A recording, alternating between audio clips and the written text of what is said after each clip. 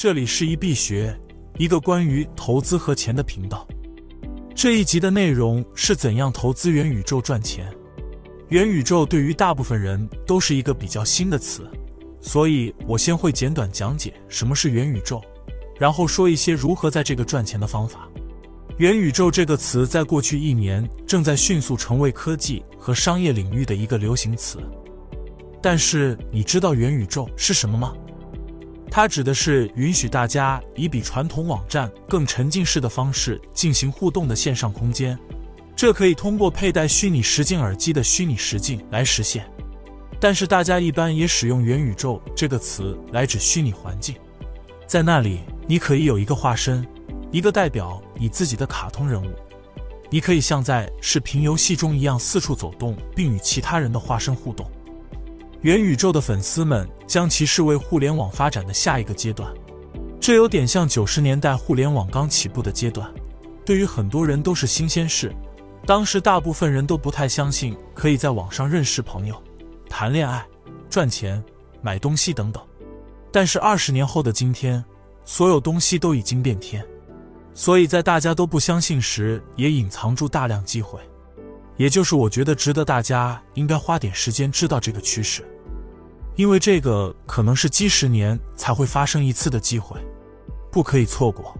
所以很多投资者和公司对成为下一个大赢家，怎样可以分一杯羹都感到兴奋。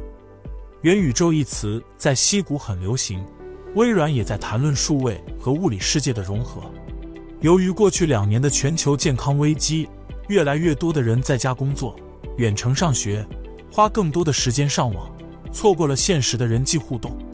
元宇宙可以让你跟不在身边的人建立联系，因为大家对线上空间的需求也越来越大，大家的互动可以更加多元和逼真，这样可以使他们沉浸在虚拟世界中，而不仅仅是观看。还有一种特定类型的元宇宙使用区块链科技，与比特币背后的科技相同。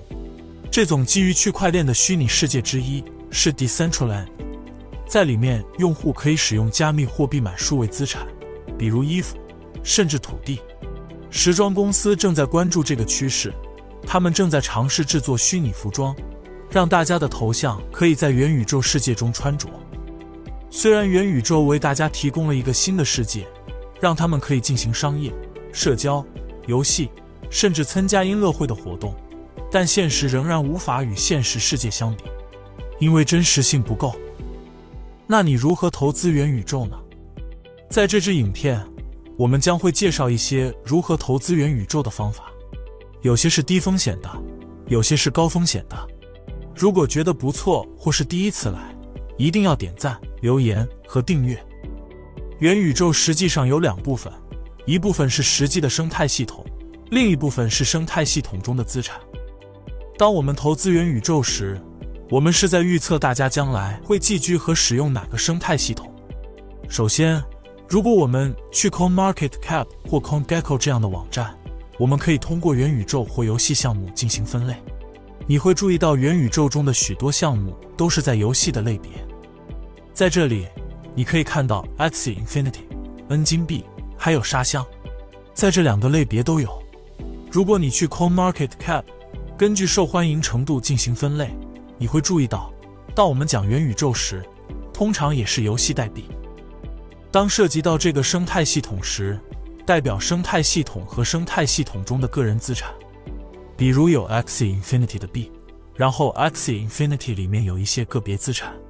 当我们在这两种选择之间寻找时，个别资产的风险会比较高，因为第一个问题是大家是否会在未来使用，第二个问题是。假设他们在未来使用这个生态系统，生态系统中的哪一个个别资产将是有价值呢？同样，对于 Decentraland 也有 Decentraland 马奈币，然后是 Decentraland NFT。我们可以看到有九万七千个 Decentraland，它们的底价很高，而且 Decentraland 最近也很火了。在过去两个星期，它的指数上涨了百分之二百一十四。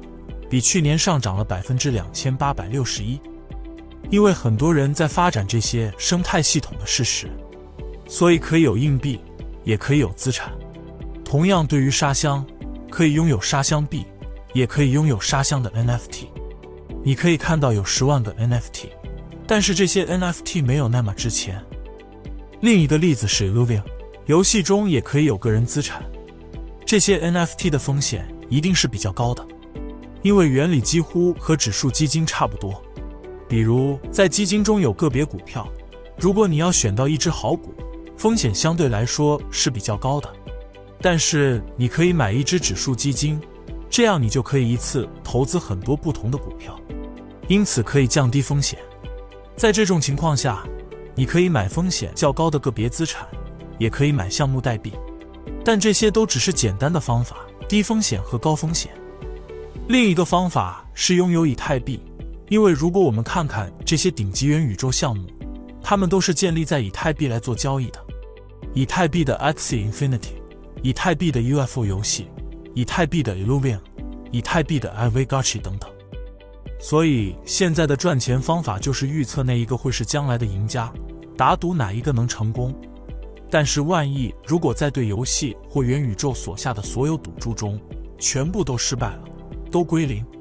如果持有以太币，至少会有些剩余的东西。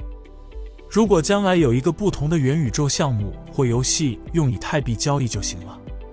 到目前为止，有三种不同风险水平的方法。以太币的风险最低，然后实际项目代币是中等风险，最高风险的是个人 NFT。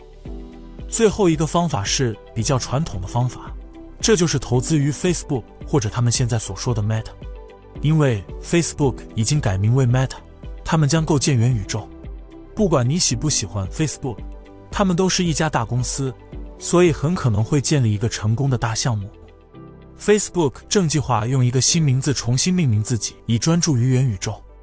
扎克伯格在上个月表示，Facebook 将在未来五年内从一家社交媒体公司转型为一家元宇宙公司。他们已经投入巨资开发虚拟实境和增强现实耳机和眼镜。据报道。Facebook 将在欧洲创造一万个工作岗位，以实现元宇宙计划，所以他们不会掉以轻心。Facebook 拥有很多资源，而且旗下拥有很多不同的公司，所以具备成功所需的一切，比如开发商、员工、行销和科技。真正能让一家公司成功的一切，有不同种类的投资方法。如果你问我会选择哪一项？我个人会选择风险最小的直接投资 Facebook 公司，因为如你之前所看到的，元宇宙现在有太多项目。